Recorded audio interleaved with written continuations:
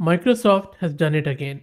They have released a very catchy, enticing paper with a very clickbaity title Spreadsheet LLM Encoding Spreadsheet for Large Language Models. We all know that all of these LLMs struggle a lot when they have to deal with spreadsheets. So that is why whenever you read a title like, like that, you immediately jump onto this that now Microsoft, a very reputable company, has released a model which we can use to analyze the data to manage the data within spreadsheets. But lo and behold, there are no weights, there is no instructions as how can we run it locally or in the cloud. It is just a paper.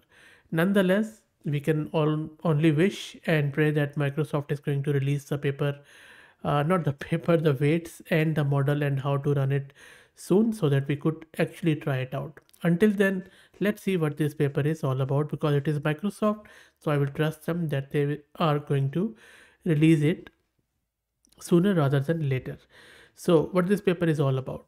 This paper is presenting a very new idea called as spreadsheet LLM.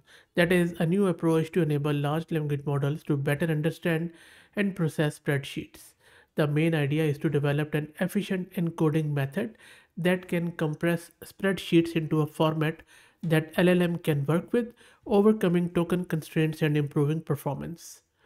There are two approaches this paper proposes. First, vanilla serialization, which is a basic approach that includes cell addresses, values, and formats but is limited by token constraints. Second approach is sheet compressor, which is a more advanced encoding framework that compresses spreadsheets using three modules. First, structural anchor based compression, second, inverse index translation, and thirdly, data format aware aggregation. Sheet Compressor significantly outperforms the vanilla approach and achieves state-of-the-art results on the spreadsheet table detection tasks. The paper also proposes a new downstream task chain of spreadsheet to demonstrate the effectiveness of spreadsheet LLM in various spreadsheet tasks. So all in all, the paper aims to improve LLM's ability to understand and process spreadsheets by developing an efficient encoding method, sheet compressor which achieves significant performance gains and state of the art results. So what exactly this paper is trying to do? We all know that spreadsheets, all of these Excel, Google Sheets and various others have now become ubiquitous for data management and they are extensively utilized within the platforms like Microsoft Excel, uh, Google Sheet, OpenOffice. Understanding spreadsheet layout and structure is a long standing challenge for traditional models and it is very crucial for effective data analysis and intelligent user interaction. Recently, the rapid development of all of these LLMs has opened new frontiers in table processing and reasoning. But spreadsheets pose unique challenges for LLMs due to their expansive grids that usually exceed the token limitation of popular LLMs as well as their inherent two-dimensional layouts and structures which are poorly suited to linear and sequential input. Furthermore, LLMs often struggle with spreadsheet specific features such as cell addresses and formats, complicating their ability to effectively parse and utilize spreadsheet data. And that is where this spreadsheet LLM, which seems to be a pioneering framework to unleash and maximize the potential of LLMs for spreadsheet understanding and reasoning. And they have proposed this vanilla encoding method to serialize spreadsheet into sequences augmenting the markdown encoding method by including essential cell addresses and optionally formats.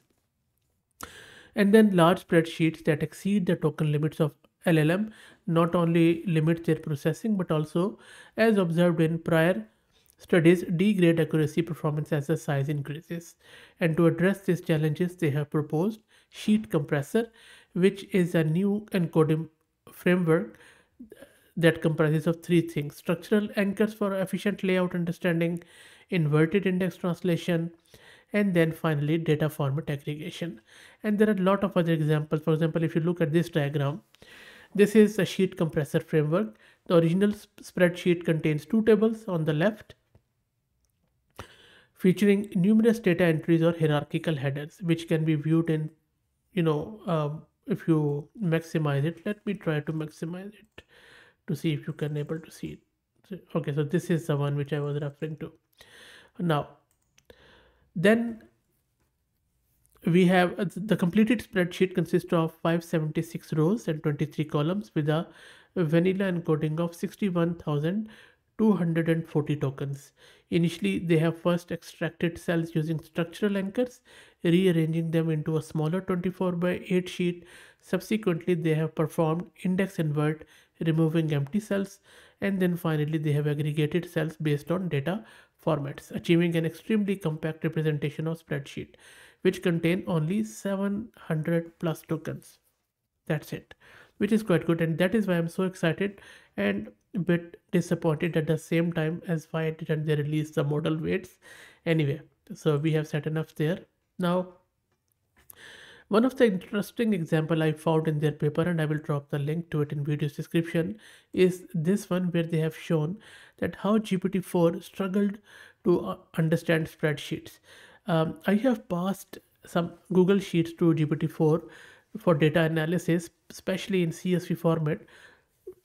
And Google um, GPT-4o is quite good, but when you pass it the Excel sheet, it struggles, and I agree with that. For example, look at this. So we have passed it a sheet, and then we are saying challenge of you in understanding Excel spreadsheet data, and then ChatGPT is telling us that these are the challenges like lack of visual context, formulas and functions, and I can add macros are there, data size and complexity, embedded objects and feature version, and all this stuff. And then if you look at this one, when we ask it, do you have any internal usage of characteristic of spreadsheet data, for example, the format of each cell, encoding and all that stuff. So ChatGPT is still saying no, I struggle, and it is saying that um, what it what it does is it just encodes the data and that uh, feed the data into spreadsheet for interaction like in plain text representation then it avoid the spreadsheet specific feature at all.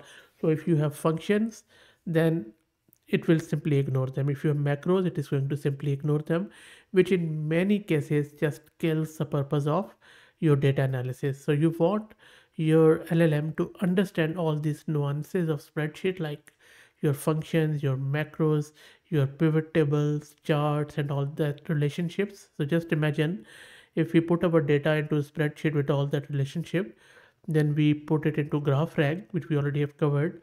It could be real amazing stuff. So the more I think about it, the more I believe that this spreadsheet LLM could be a real game changer if they release it.